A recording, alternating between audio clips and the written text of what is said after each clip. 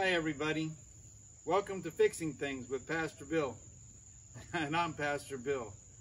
Uh, yes, yesterday's episode, or last episode, um, we put the two front tires on this. And I said that if, if we had enough time, I'd go ahead and throw the three-point hitch to stuff. Well, I didn't have time, but we do got the tractor on its own feet on the front end. And it was a battle. Uh, one of the rims, just to break the bead, took probably close to three hours. The other one, about a, an hour and a half. Uh, the vice method worked a lot better than the other three methods that I tried. I got the method, methods off of uh, other YouTube channels that looked like they had some success with them. Uh, but the, the vise seemed to work the best. You just squeeze the heck out of it with the vise and hit it with a cold chisel on the bead a few times around, the edges and it came right off. Unscrewed it, took the rim apart, did my grinding, put it back together and it was done. Um, so today, uh, it's gonna be a simple one. I tell you what, the mosquitoes out here today, it's crazy. The sky is dark and uh, there were so many mosquitoes on me. I, I felt 20 pounds lighter from them trying to lift me off the ground to take me away somewhere. I think they're uh, some kind of hybrid type. Maybe the government's working on these guys or something. I don't know. But let's get to that three-point hitch and uh, let's get that thing together. All right?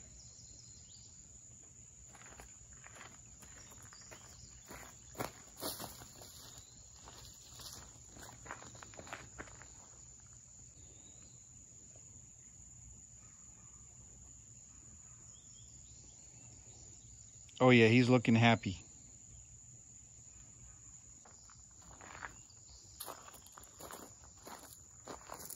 All right, so here's the kit I got. It came in a package like this. Now it's waterlogged. It's been sitting outside, but I figured the inside stuff can't be hurt. So it came in a package like that. And I got it off eBay for around uh, $150. And it's for a, a, a class one hitch. So I'm hoping that we should not have no problems. This is a class one tractor that we should not have no problems. I do know that I'm gonna have to get some bolts to hold the, the side links things, the holes that holds the arms up. But uh, I got some bolts. Uh, so let's get started. Hopefully uh, I'm not missing anything. I do got to put on the, the top thing. I got it inside on my parts shelf. I will uh, go out and get that and we'll put that on too. But uh, uh, let's get started on it. I probably should put that on first. Let me go get it.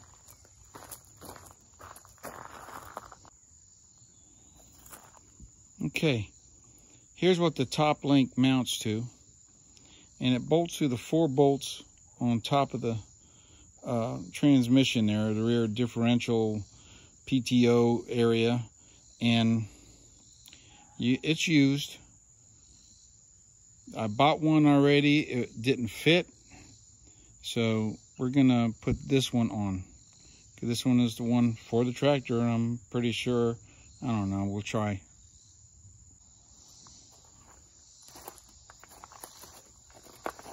Okay, here's where it bolts on. And it's the right one. It fits good. But I got mud dauber's nests filling up all these holes. So we're going to have to get in here and clean these out. Oh, we just killed that one. It's gooey. That one's dry. So we we gooed out one of them. This one here. Oh, gotta get out of there.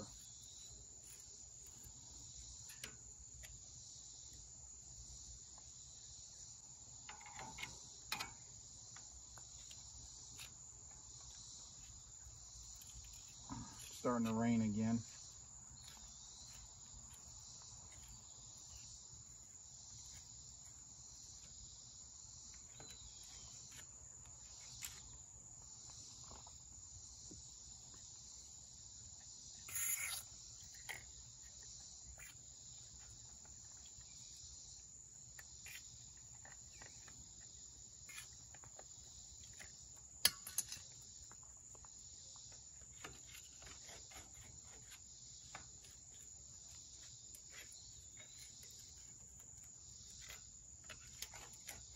Man, mosquitoes are just terrible.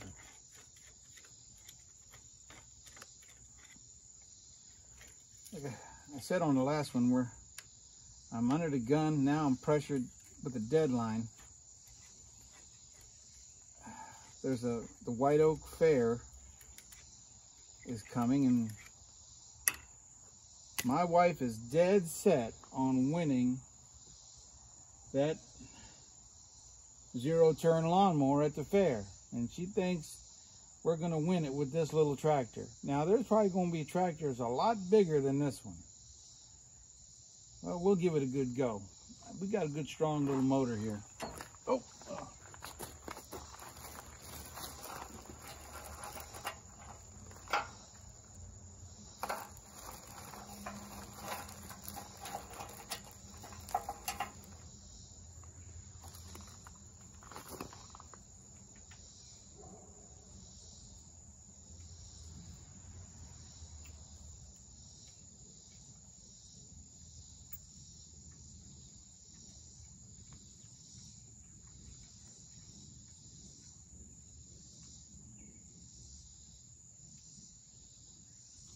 these are even the right bolts. These are the bolts that came with the, the other one. This didn't have any bolts for it. I think got some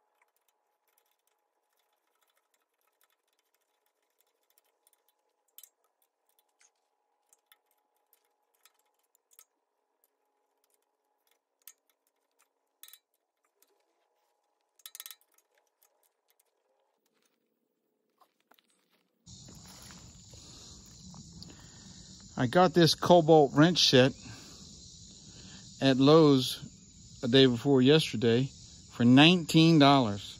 This is regular, uh, a gazillion dollars at least. I mean, it's a, it's nice. It says valued at $225. I don't know if I'd pay that much for it.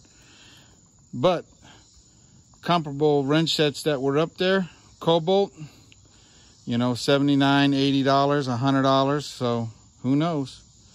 Let's see if my socket now won't reach into the, see if we can get a wrench on it. Ugh. Let's get the ones that we can tighten up.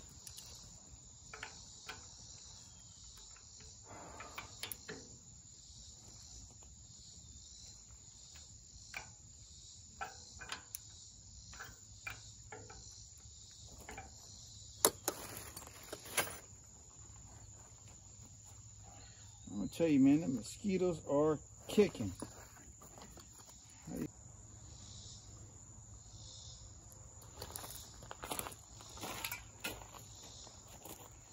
Alright, let's see if we can't get this thing together. The video stopped for some reason, I'm not sure why.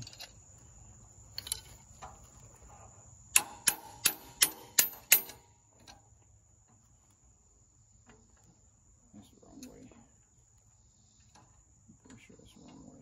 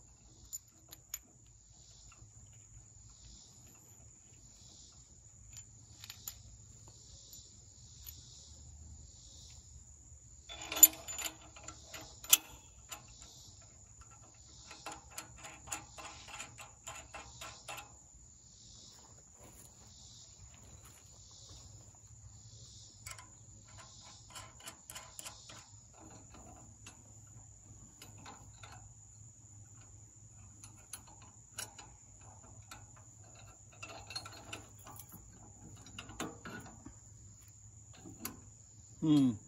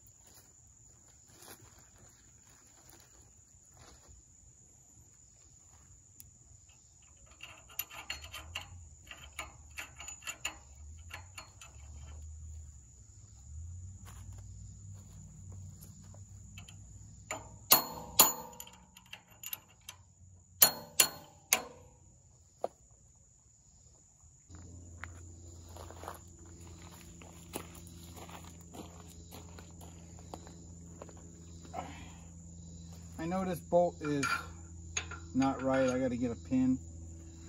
I'll stop by Tractor Supply this week. But for now,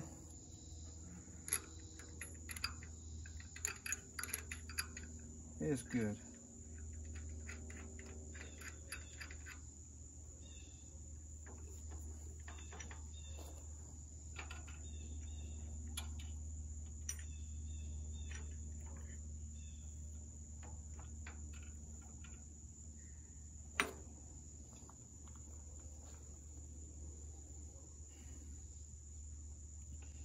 All right, I just gotta tighten it up. Go give me some big sockets. Bigger than that.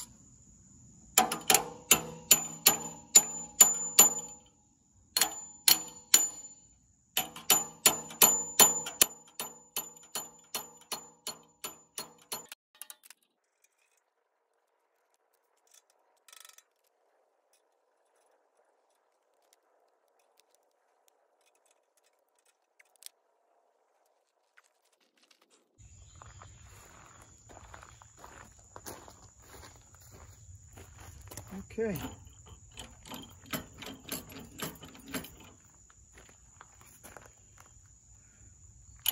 We have the three-point hitch hooked up. One, two, three. Got adjustments on it. It's ready to hook a plow up. Ready to hook a box scraper. Ready to hook a mini uh, backhoe onto it whatever you want to put on it is ready to go work.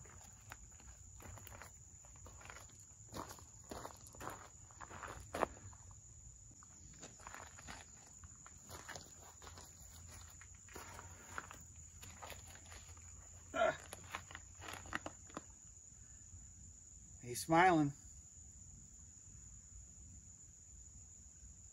Well, that's the end of this episode today. It was an easy one had a few little setbacks.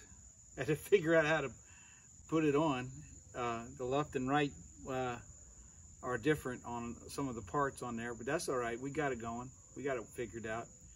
Uh, I may have to do some modifications to the little linkage that allows it to slide.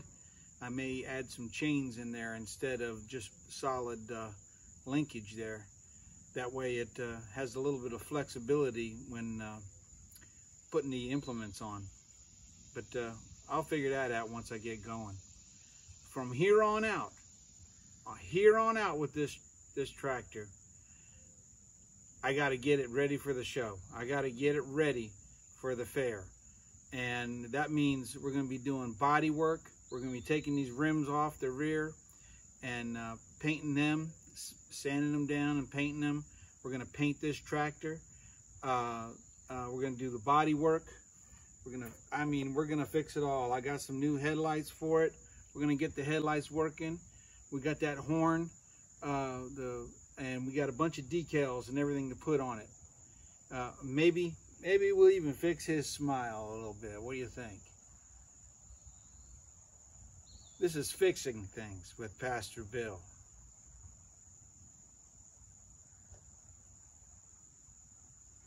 Uh, now I gotta get up. Uh, and front tires look good.